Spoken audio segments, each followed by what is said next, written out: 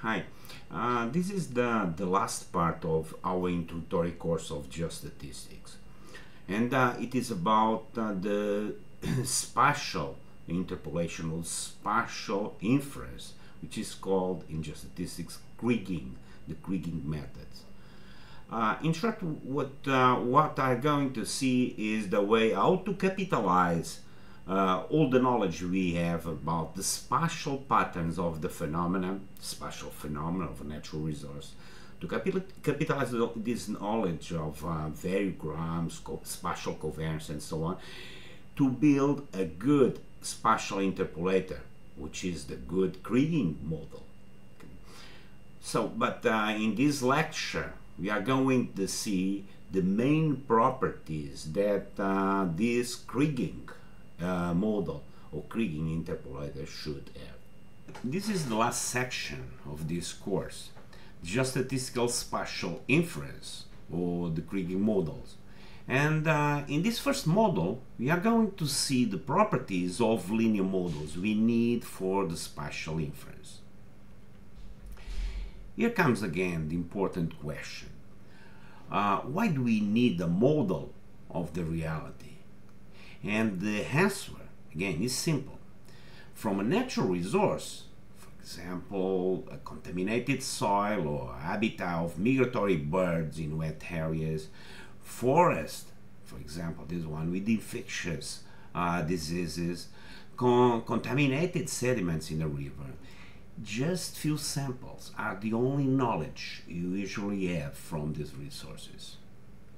Hence, we need a model to visualize uh, and to understand the spatial dispersion of main characteristics in order to evaluate and to manage the given resource and critical issues related to it. That's the answer. Uh, let me tell you a true story. Once upon a time, Italian bi biologist called Nimis uh, took the samples he had about lichens biodiversity and create a map of the spatial dispersion of this lichens biodiversity, which, uh, which uh, some of you know, is related with the air quality. More lichen species, better is the air quality of the region. One day, yeah, he, the Nimis, he watched a conference where a doctor named Cislaghi has shown a map of the same region about dispersion of the lung cancer occurrence. This one. And the resemblances between both maps were amazing, with extremely good relationship. And a paper in Nature was the beginning of a good relationship between them, I presume. But uh, this happy story, and this happy end story, happened just because each one of both scientists had made a model, a model of the dispersion of the two variables, air pollution or lichen biodiversity and lung cancer. Let us, uh, let's, let, us, let us have a quick look to other examples. Spatial dispersion of SO2 and O3 concentrations in Portugal. Given those samples, we uh, we could uh, we could make those the dispersion maps which allow to identify the critical areas of air quality and to manage the sources of this one, the sources of those critical concentration. For example, another example, spatial model of the vitality of a cork tree, uh, cork tree forest a categorical variable in this case, uh, made with field observations, those ones, that this, this map, this model, allow to control critical areas and wrong soil treatments. Or the spatial maps of this migratory bird concentration at different periods allow to manage the temporal trend and critical areas to control the abundance of these species. Or the spatial maps of a sediment contamination in a, in a Tejo river, where the first step, the those models were the first step for the decontamination and recover of a degraded area, given the rise uh, what is now an emblematic urbanistic example of Lisbon, those maps here. And of course, mining and petroleum applications. No one could manage the resources and reserves uh, just with sample data, borrowed data, well data, without a model of the grades, petrophysical properties, and so on. Now, in, in short, we can say that geostatistics is just a set of tools to transform the space of discrete and sparse knowledge of reality, the sample data, into a more comprehensive model of the known reality.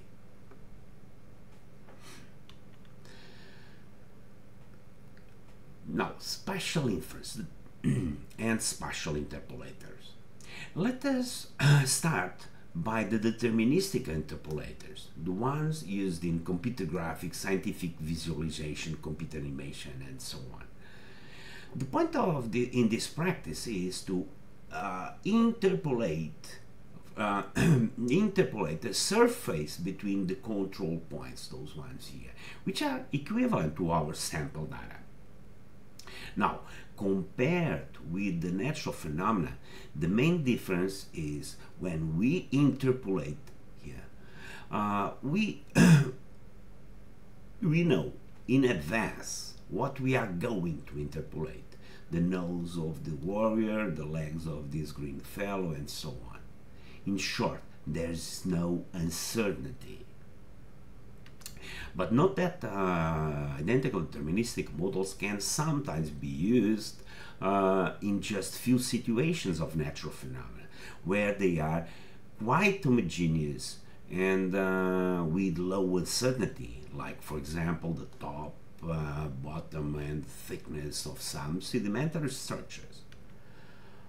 But in most of the, of the situations of natural phenomena, we want to solve the following problem based on a set of discrete uh, data. One wish to interpret different parts of our unknown reality, top and bottom of main geological formations, or the spatial dispersion of very heterogeneous properties like porosity, permeability, and so on.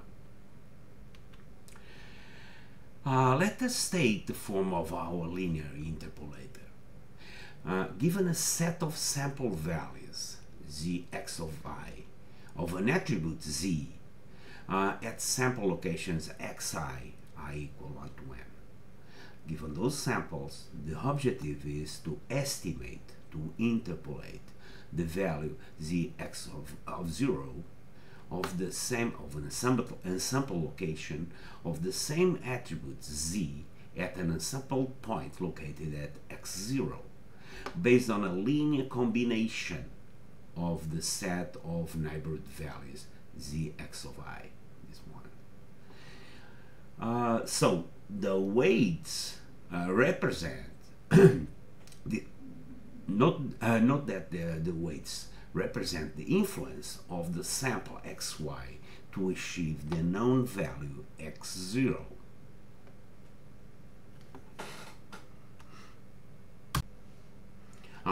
Now let us take the form of a linear estimator.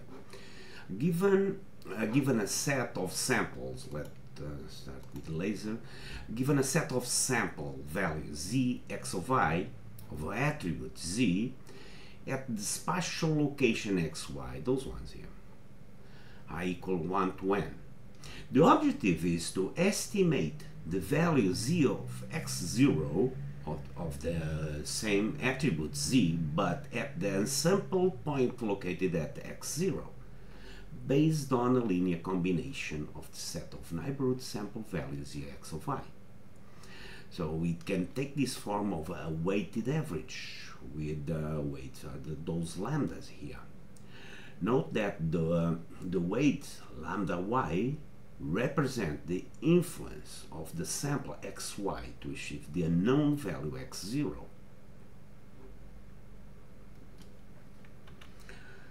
Now let's see some classical deterministic models to solve that interpolation exercise. And that let's let us start by the simplest one, the polygons of influence. So the interpolator zx0 aster is equal to the nearest neighbor of zxy. Uh, as there is just one sample value, the weight of this sample is 1 for sure. This is equivalent to the partition of the space in a set of polygons, of Voronoi polygons, centered at each sample xy. Hence, the known value at any location, for example, this one, takes the value of the center of the polygon uh, to which x0 belongs. So this is a very simple method and um, very common and very used in information geographical systems, but uh, is not very common in neuroscience. So the, the, the, the, advantage is the simplicity of implementation. Well, the, the, the, the drawbacks are high discontinuity between polygons. As you can see, can take the, the, all those points take the same value. Now let us move to a little bit more complex estimate that accounts for three neighborhood samples. Now if we divide the space in triangles, Delaunay triangulation, each vertex is defined by one sample value. Here. Uh, so any value x0 in the middle of the triangle, inside the triangle, sorry, is equal to the linear combination linear combination of the three vertex values like. There's uh, several ways to solve this this uh, this pro this uh, problem. One one uh, one of them is very simple, and the weights lambda are proportional to the triangle area opposite to the vertex xy like this one. So this vertex here takes the area, uh, the opposite triangle as as the weight of x3. Okay, let's uh, move to a little bit more complex estimator that accounts for the three neighborhood samples. If we divide the space in triangles, the Delaunay triangulation it, uh, it is called, each vertex is defined by one sample value, like this one here.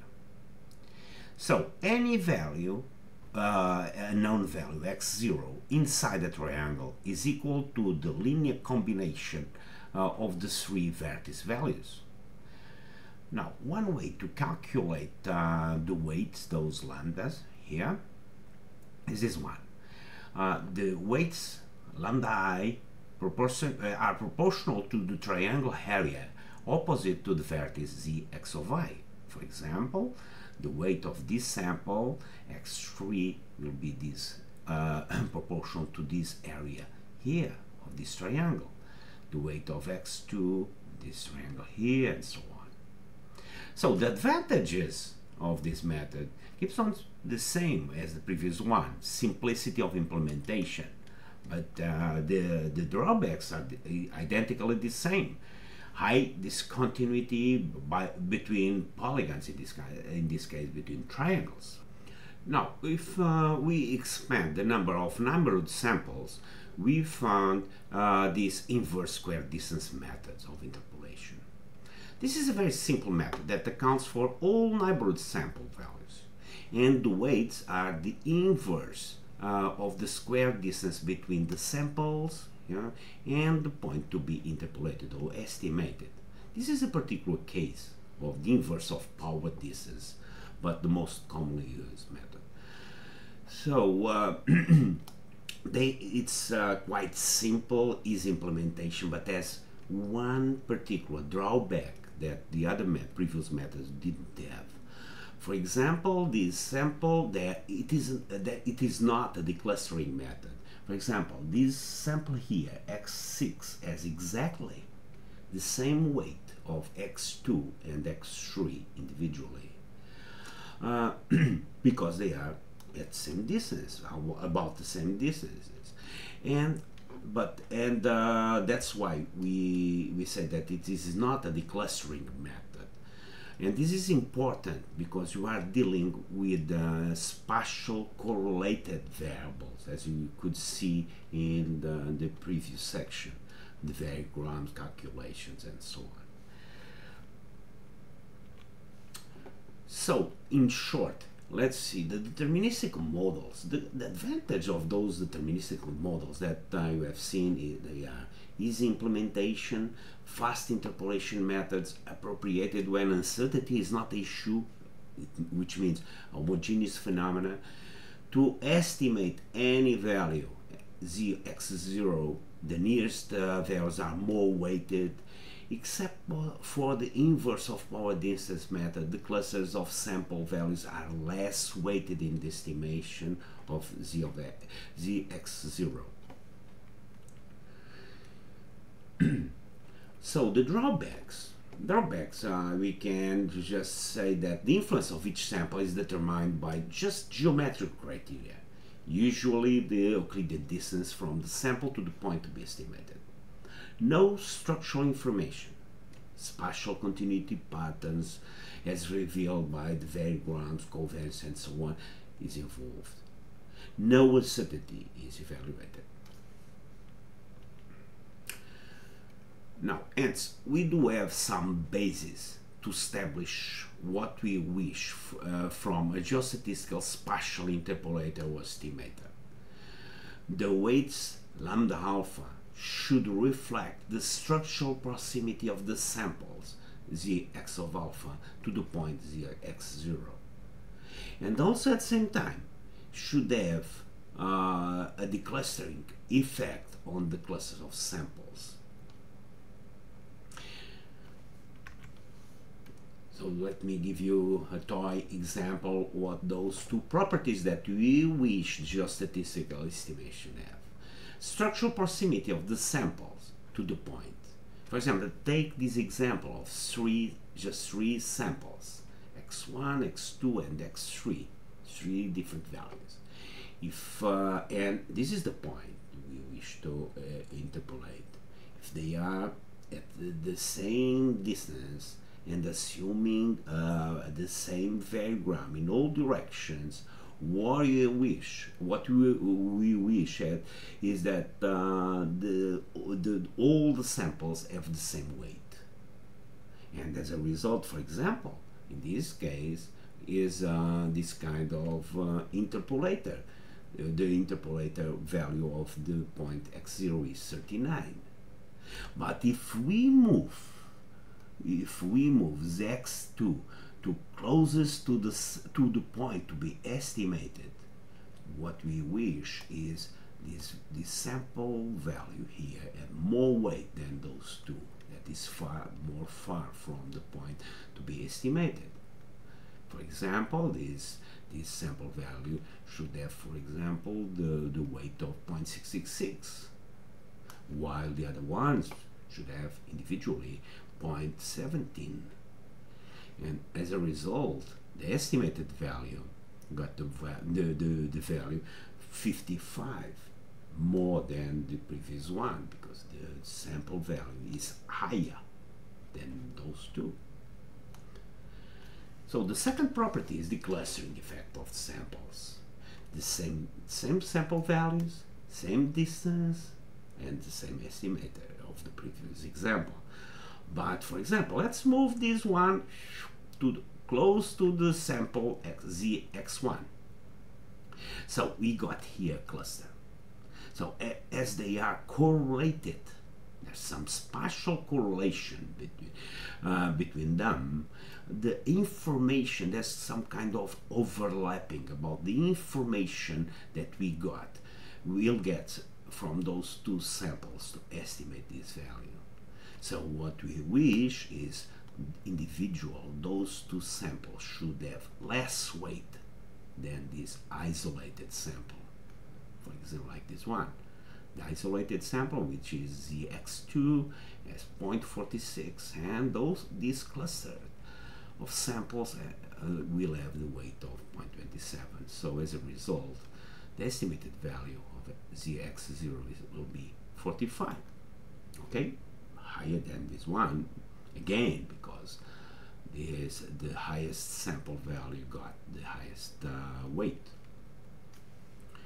just to finish uh, this lecture I would like to to, to, to emphasize the, the some some references. Of course, the classical one from Isaaks Srivastava. Also, you can you, you have the the Goovaerts the Pierre Goovaerts book, just for natural resources evaluations, a little bit more advanced than this one, and for the the Portuguese readers, have this one, just as ciências da terra e do ambiente.